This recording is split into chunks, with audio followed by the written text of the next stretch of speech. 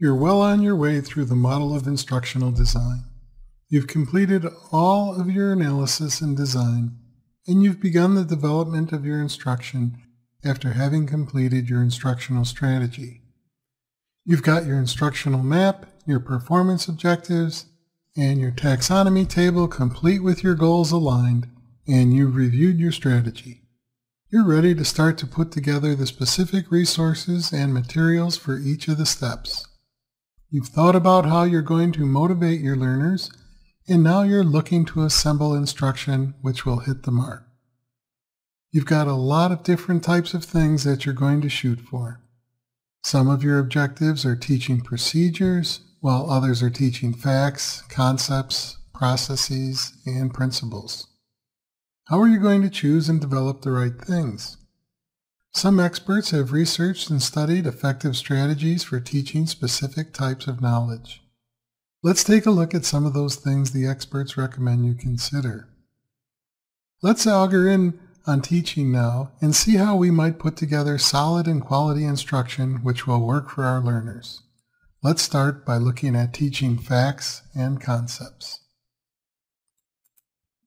Perhaps you faced some challenges when you were trying to place your objectives in the taxonomy table.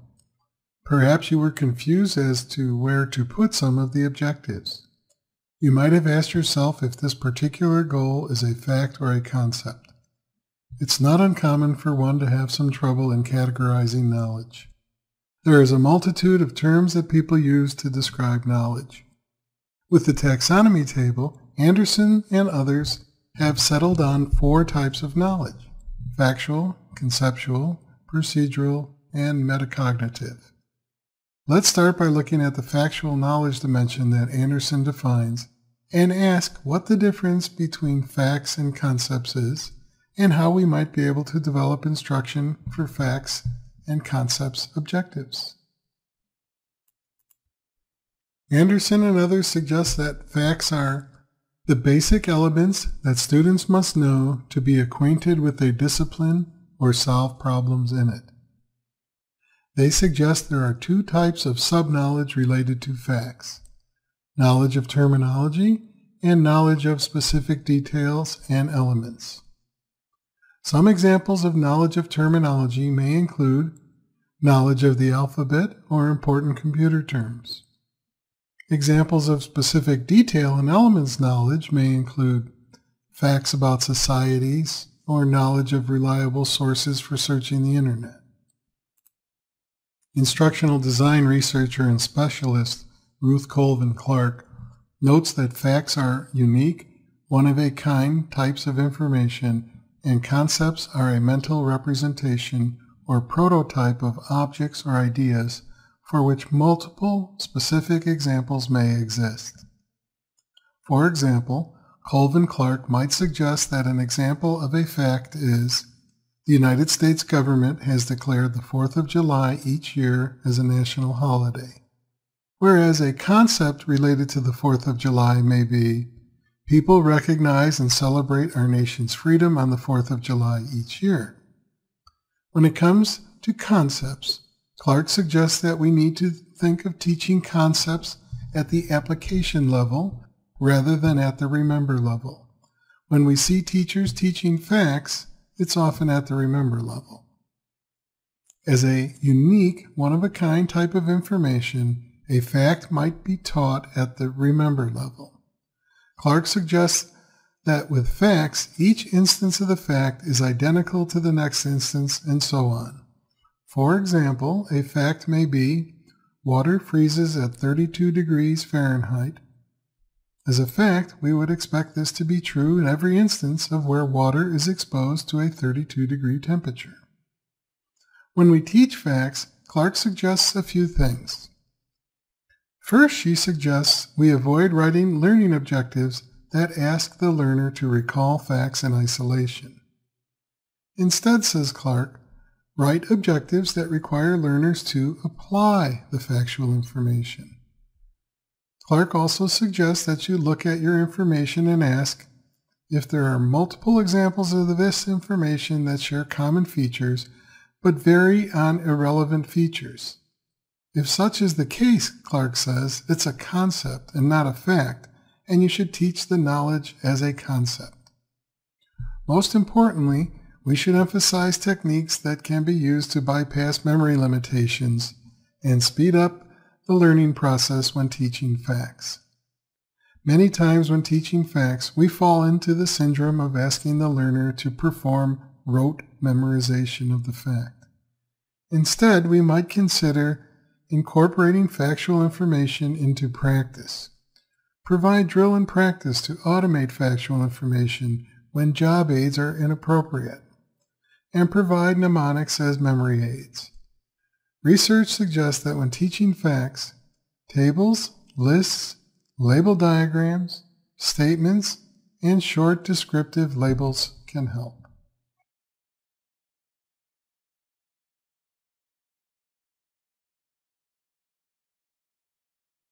Anderson tells us that conceptual knowledge relates to the interrelationships among the basic elements with a larger structure that enable them to function together.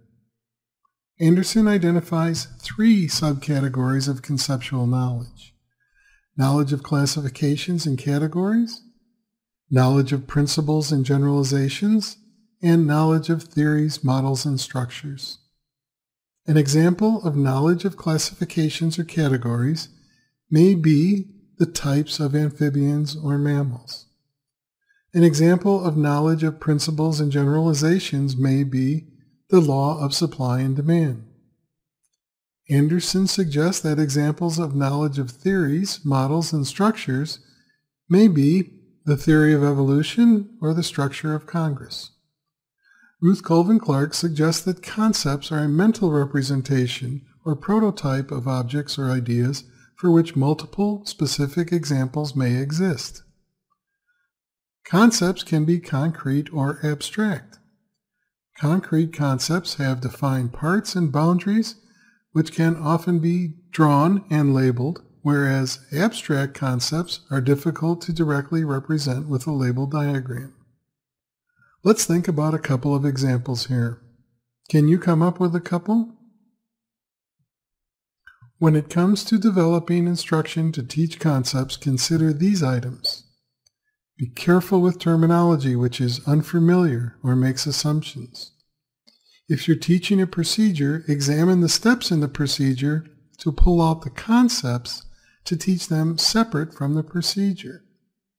Develop instruction which helps the learner discriminate the concept rather than try and remember the concept. Allow the learner to pick from examples when teaching concepts.